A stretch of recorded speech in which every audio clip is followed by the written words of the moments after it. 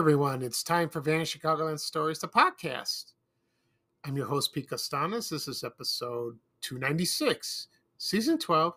Today's date is January 17th, 2024, and welcome to the show. Uh, yes, it's been a, quite a while since I've done a podcast episode. I think it was last Sunday, not this past Sunday, uh, the, the week before. So, uh, on today's program, I'm going to talk about uh, this is something unusual. Uh, I will discuss my grade uh, grade school class reunion that happened this past weekend, and uh, I had a lot good time. And then I will talk about uh, two uh, actors that passed away uh, last week. actor Bill Hayes, best known as Doug Williams from Days of Our Lives, and also actress Joyce Randolph from The Honeymooners yeah, she was great in that show. And uh, I'll talk about my memories of watching them on TV. I'll talk about their biographies and uh, and some more. We'll see. Okay, uh, right now the program we're going to a commercial, and this program is brought to you by Kal Kan Cat Food. This. This and this commercial is from 1980. So sit back and relax and I'll be right back with the show, folks. Thank you. There's a sound a cat makes when she's really happy and healthy. And there's a way a cat looks when she's really happy and healthy. To keep your cats looking good and sounding good, feed them Kal Kan. Calcan's got all the vitamins and minerals and protein a cat needs. It's so nutritious, it's like getting a multivitamin in every can. Now that's the sound of a healthy cat. Kal Kan. It's like getting a multivitamin in every can.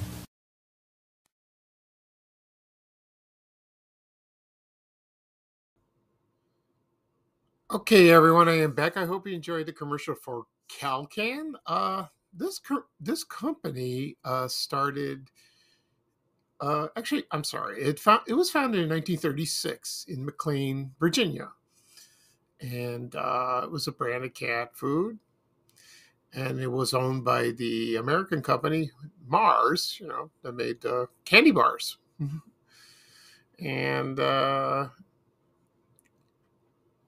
and then it moved to uh, Los Angeles, and then uh, it expanded, became very popular. Remember the commercials for that. And then in 1989, it changed its name in the United States from Kal Kan to Whiskas and that's remained to this day. And then because Whiskas was in Europe, Kal Kan was in in uh, uh, the United States. So, and right now, it's also made also in McLean, uh, Virginia as well. And it, the the company is called Pedigree Food, Pet Foods, excuse me, like that. And uh, I remember the commercials uh, very well with Kal Kan. They also made dog food they did that. And uh, so that was when you hear that cat purring in the commercial, you know, it reminds me of Eartha Kitt from uh, as Catwoman from Batman, you know. First thing came to my mind. I couldn't help myself. so uh, that's good. So, um, you know, right now, uh, you know, pet food today is there's all kinds, you know, organic, healthy, you know, so like that, you know, pets are treated like uh, members of the families. So that's nice. That really is. That really. I've uh, never. I owned a cat when I was very little. My my brother had one. His name was Precious. Unfortunately, he ran away. and my brother was devastated. So, you know, and uh, my my parents were dead set against it. They, they don't like pets like that. And we never owned a dog either. So, well, uh, I don't want to go into a long story about me with the dog. So, you know, so, uh, yeah, you never know. You never know about that. Okay. At the beginning of the program, I mentioned I'm going to talk about my uh, grade school class reunion. This happened this past weekend. Also, I'll do my tributes to actor Bill Hayes and actress Joyce Randolph. Okay. And uh, I just want to mention one thing. Uh, the reason I didn't do a podcast episode this past week uh, is it was so cold. I didn't have time, and uh, it was a little hard. So, and I had some things going on, but I have time t- today, so that's good. And besides, the weather is getting warmer, starting to. The temperatures are starting to rise a little bit. Yeah, it's still cold, it's going to go up to like 18 or 20 degrees, which is great. But you know, the warm up won't start about the week, uh, like Sunday, you know, like 21, and then next week is uh, Monday. You know, Monday, uh, the rest of the week, and probably the following week up there. It's going to be warm. It's going to be nice, 30s and 40s. Oh, it's be nice and melt that ice. Good because I got to go out to dinner with the uh, with my friends next week. it's going to be raining. I'll take the rain. It's okay. Okay. All right. Uh, I apologize for being off subject for you know for this podcast, but you know I had to talk about my re- my reunion this past Saturday. Uh, it was uh, for the Corrales Elementary School. I attended.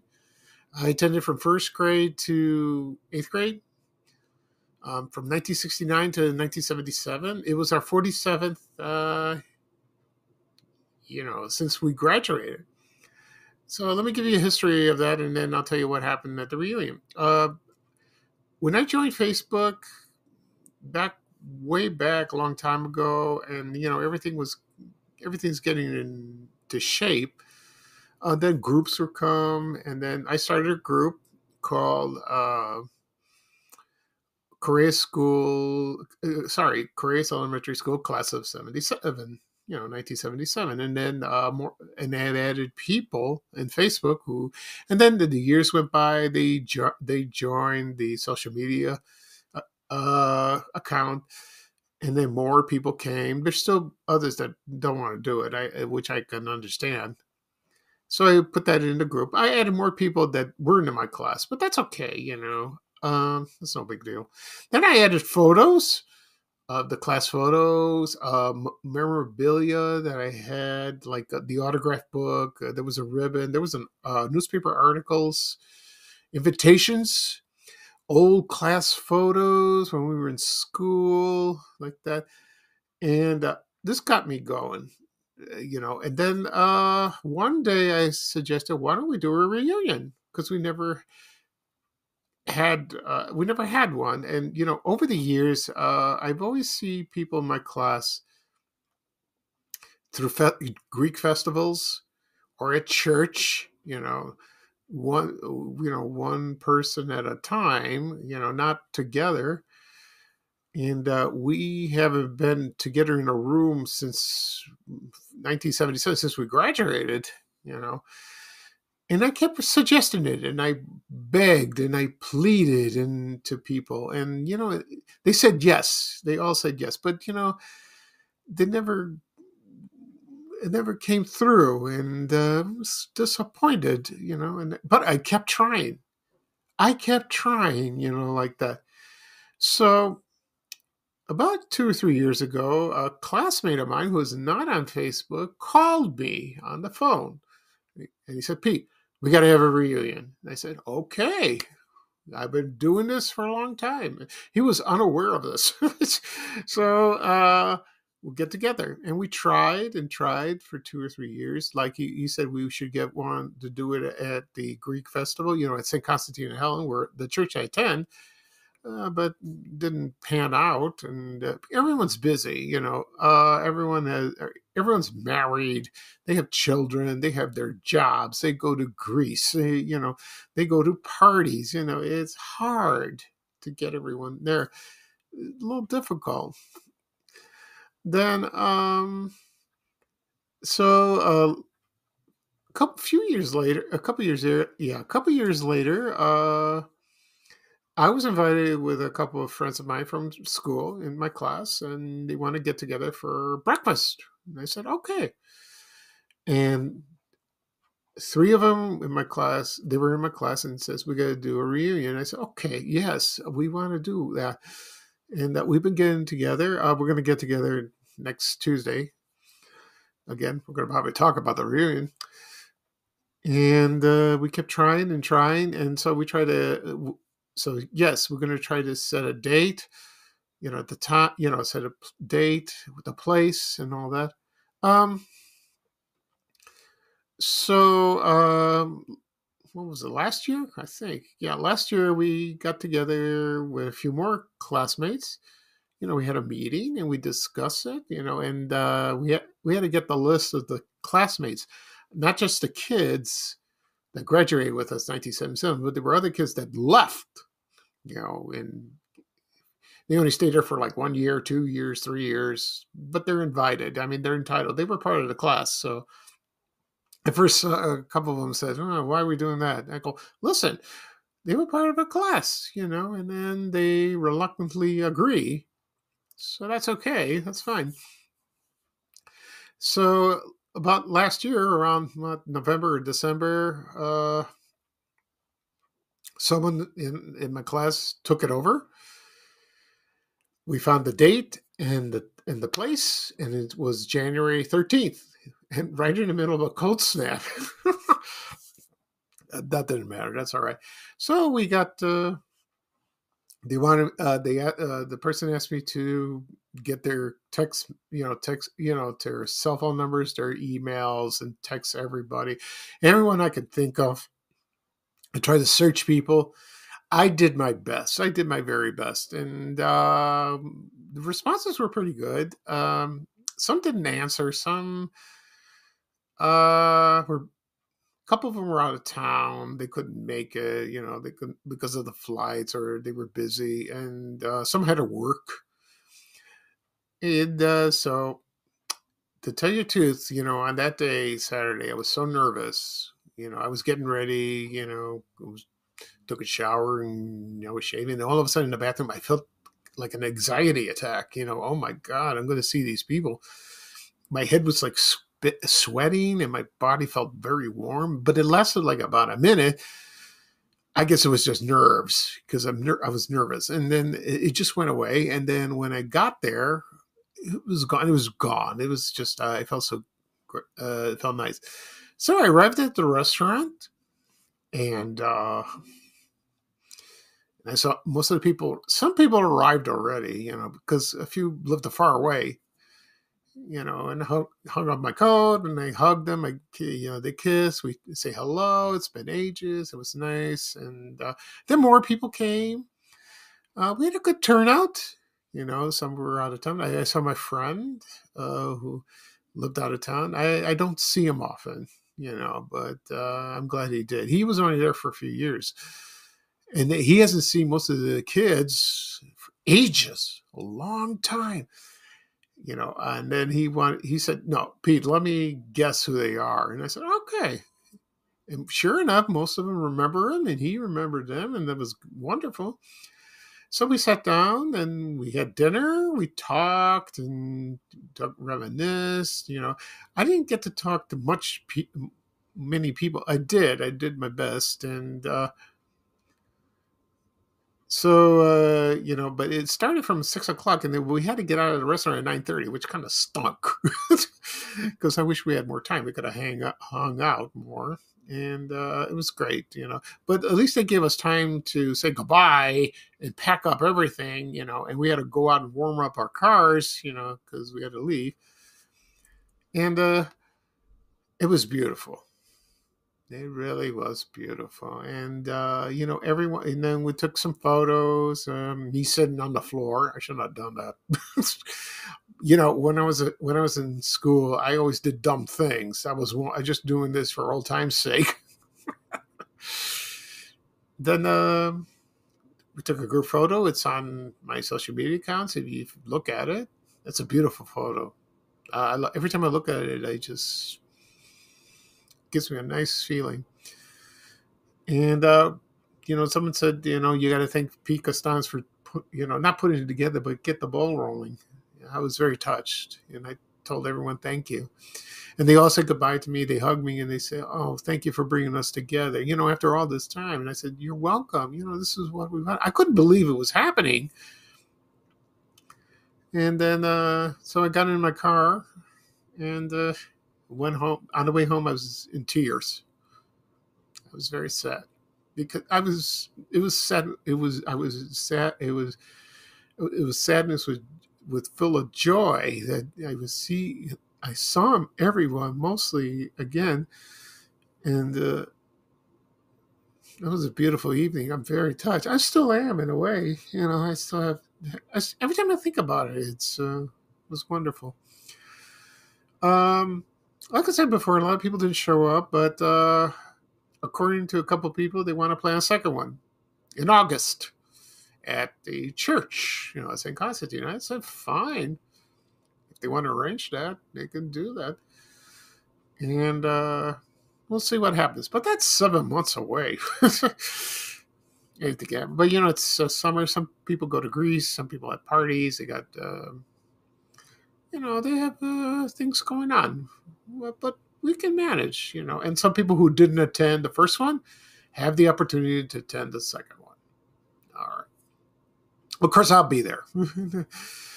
uh, you know, because uh, it seemed like everyone had a good time. It, the thing was, it wasn't. They forgot about the cold weather. It didn't matter. It's just seeing everyone. They were so happy. They were laughing, reminiscing, all that. That was beautiful. That really was beautiful. Yeah, it was a great party. I'll never forget it. I really won't. I don't know. I'm sorry, folks. I'm just a little emotional like that. But I had to talk about this on my podcast. I know it's not really Chicagoland in a way, but you know, it's sort of related to it. But uh, this is from my personal, you know, uh, how would you say it? Uh, you know, from from me talking about this, my experience. Okay. Right now, I'm going to talk about uh, actor Bill Hayes. Uh, a lot of people have known him as Doug Williams from Days of Our Lives. He's he was been on the show since 1970, and uh, he played that character all the way to the end. You know, until last year. And uh, I'll give you his biography. So he was born William Foster Hayes III, born June 5th, 1925, in Harvey, Illinois. So he's a Chicagoan. Yeah. And he graduated uh, Thornton Township High, uh, I think 1942, I believe. I could be wrong. And then uh, then he got drafted after that. And, uh, you know, in World War II, he was, and then he was trained for uh, to be a fighter pilot, fight, fighter pilot. Excuse me. And uh, so, and then you know, he was awarded for the American Campaign Medal and the World War II Victory Medal. Oh, very nice. So he has he was he was given a choice either re-enlisting in the Navy, which he did enlist, but he uh, he he chose to be a civilian. He didn't want to do that anymore, which is fine. Because uh, he uh because he was a he was in college at the time where he got drafted, so he was at DePauw University in um, Indiana, in Greencastle, and then uh, then he went to. Uh, and then he graduated there, and then uh, then he started as a singer, you know, and he was a good singer, and he appeared in TV shows. Uh, the earliest uh, TV appearance he appeared was Your Show shows that starred Sid Caesar and Imogene Coca, and uh, and he starred in his and he started in a movie. His first movie was uh, Stop Your Kill Me from 1952, which uh, I never seen that movie. I got to check it out, and uh,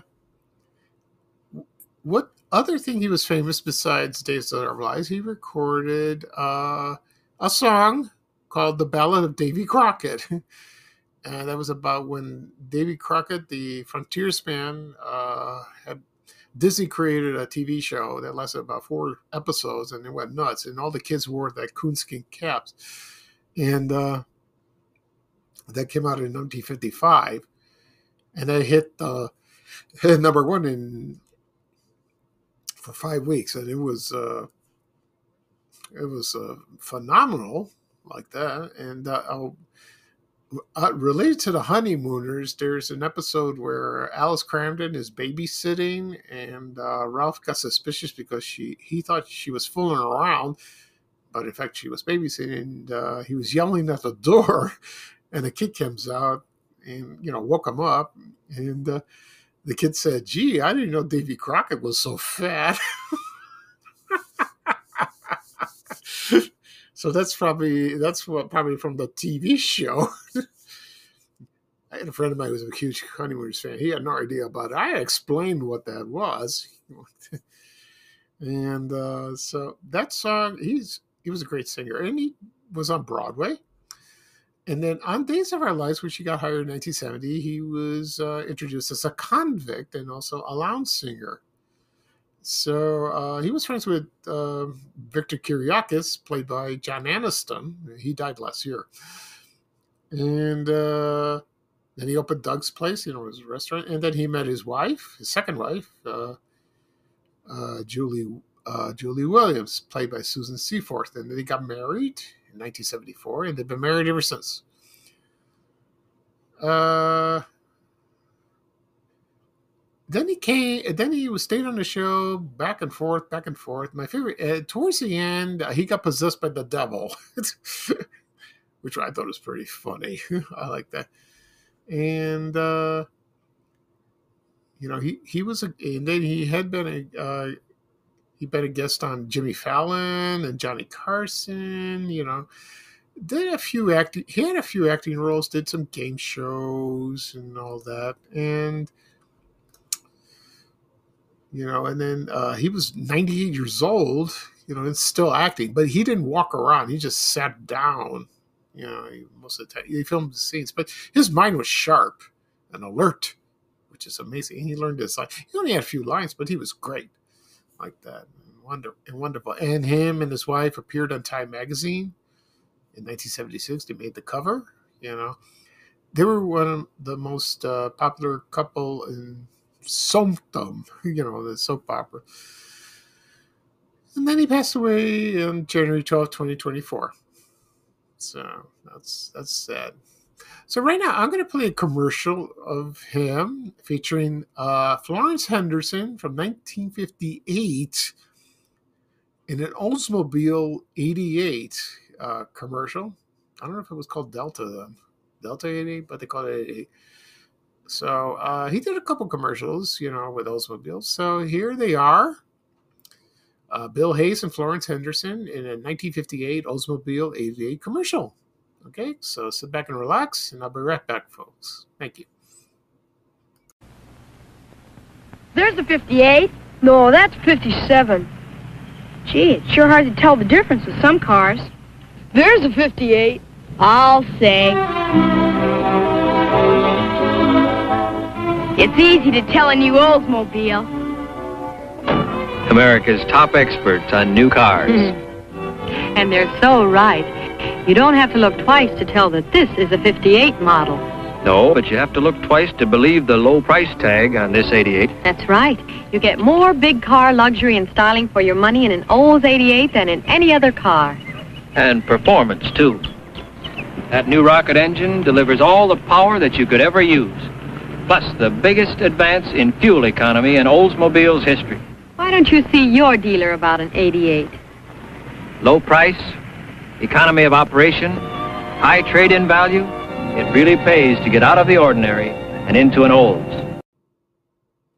Okay, everyone, I am back. I hope you enjoyed the commercial uh, with uh, Bill Hayes and Florence Henderson for Oldsmobile 88 from 1958. Uh, as for his character on Days of Our Lives, um, I'm sure they're going to kill him off. I mean, you know, unless they replace him, I doubt it. I don't think so. Uh, but you know, they taped the show months in advance, so they won't. They'll do a storyline about his death probably later this year. You know, and that's devastating. You know, for his wife and the and the cast members. You know, my mom watched has watched him since the seventies, late seventies. She still watches to this day. I watch it too, sometimes with her you know, because she asks questions. she goes, "What's going on? What are they doing?" You know, and like that. And uh, so, you know, she's hooked on the show. She loves the show, you know, like that. So, and she loves him. She loves Bill Hayes. You know, she heard him sing on the show and all that. So we'll see. How, we'll see what happens. Uh, my condolences to the family. Know, yeah, that's uh, that's sad. Okay. Right now, I'm going to talk about actress Joyce Randolph, and she, best known as Trixie Norton, on the classic TV series The Honeymooners, which a lot of people love this show. It's like this show has taken a life of its own. It's just it's ama- it's amazing, you know, because there's a Facebook group. I have a Facebook group about the show, and all I see is comments in situations, you know, the lines from it, and it, it's hilarious. And you start laughing at those, and oh, I spent a, I one afternoon I read like about for a couple hours, and I'm laughing at all this. It's just, it's it's hilarious.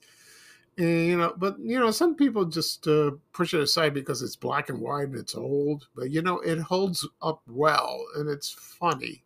It's just funny you know, it's it's a it's a masterpiece of comedy. It's what it is.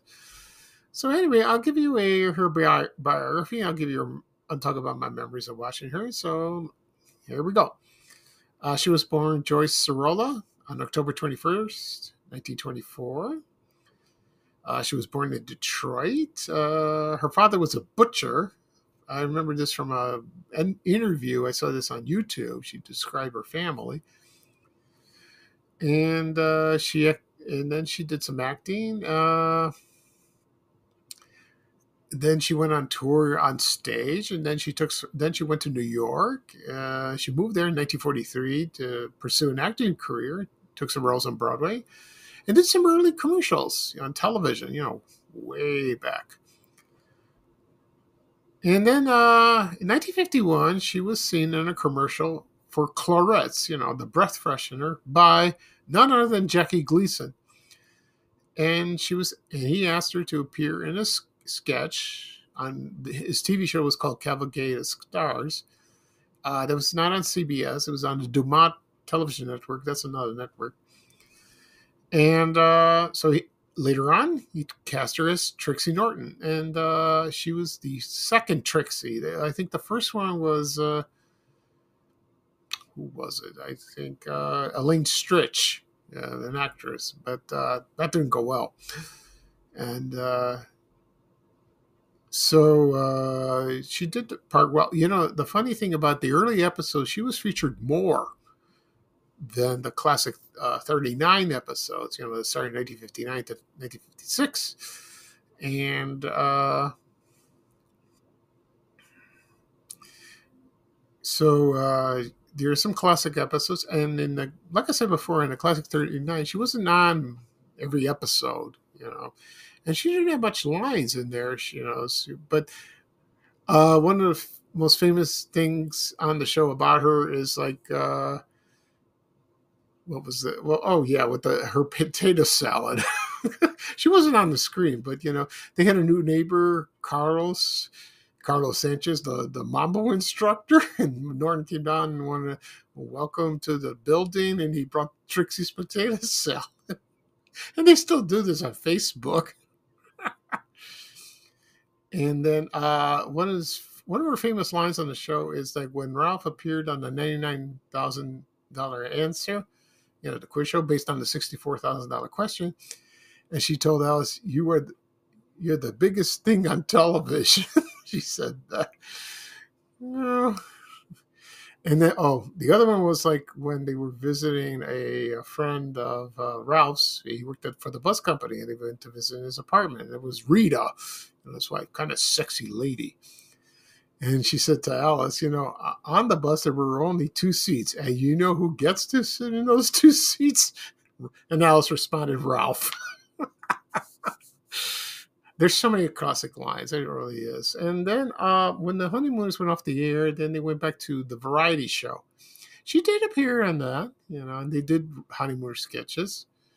Uh, then when Jackie Gleason moved the show to Miami, uh, she did not uh, didn't want to come. She didn't want to re- move, you know, and uh, she didn't want to do that. So uh, Jane Kean took took over the Honeymooners hour long episodes. It was in color. They had musicals. It wasn't the same. It was kind of weird seeing that, but they had some funny bits. Uh, so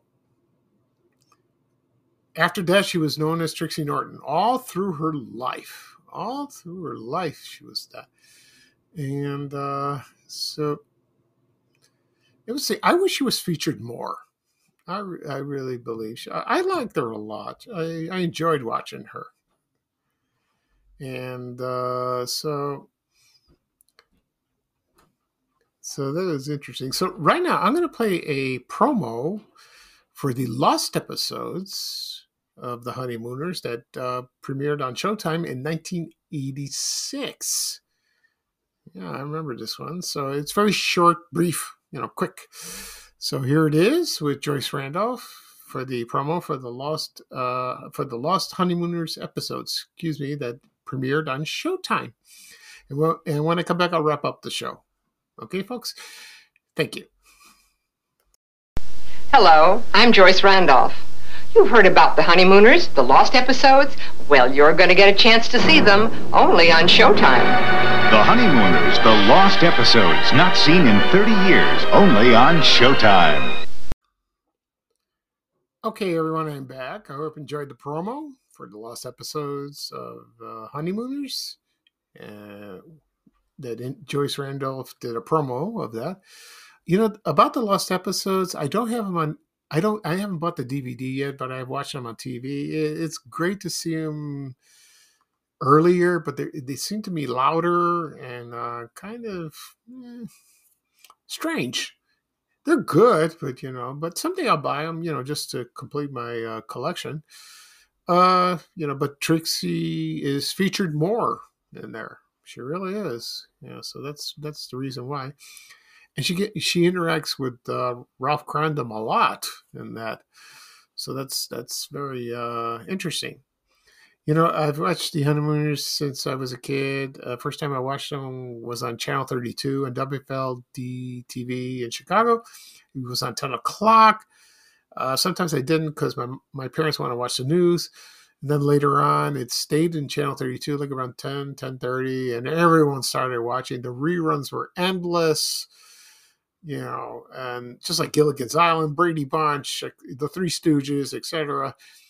And it's on MeTV now, you know, in Chicago. So people uh, quote the lines. They still do. My brother and I still do that. I have a friend who does that too. It's hilarious. it's a classic show. It's not one of my favorite shows. Uh, it is one of my favorites. Excuse me. My favorite is I Love Lucy. It's always been that, and uh, but it is one of my is one of my favorites. Uh, I love it. I have it on Blu-ray. You know, it's just it's just funny. It's really funny. It really is. So, uh, so Trixie was the last one, last surviving cast member. You know, she lived so long. You know, she seemed like a very nice lady. You know, and she appreciated her fans, from what I heard. You know, I don't think she remember everything what she did, but but uh, she was very. I heard she was very kind. You know, signed autographs and you know attended the uh, conventions, you know, the Ralph one and all that. So, yeah, my condolences to her family. Yeah, Trixie Norton will live on, and now she's reunited with the the rest of the gang, like that. Okay, that'll be all for today. Uh, do a recap of what I talked about. I talked about uh, my uh, my grade school class reunion this past weekend. Also, my tributes to actor Bill Hayes and actress Joyce Randolph. And uh, this podcast will be published uh, later on today, uh, wherever podcasts are available Apple Podcasts, Google Podcasts, Spotify, Amazon Music, uh, Breaker, uh, Overcast. Also, you can find on my blog, Van Chicago and Dog blog. Also on my YouTube channel, I do a search on YouTube, Van Chicagoland Stories. People still ask me, where do I find your podcast? Where do I find your podcast? Find it there. Hit subscribe, and you'll get the notification of the latest episode. You can do is you can listen to previous episodes if you like. Help yourself, you know. Also, be sure to my social media uh, Facebook, X, Instagram, Threads, uh, LinkedIn, and also Reddit. Okay. Uh, probably do. I I'm almost sure I'll do another podcast this weekend. Uh, we'll see about that. And uh, we're getting close to episode 300. Can't believe I did almost 300. That's a lot for me. Oh, it's amazing. I even forgot what I talked about in previous episodes. I'm getting old, folks.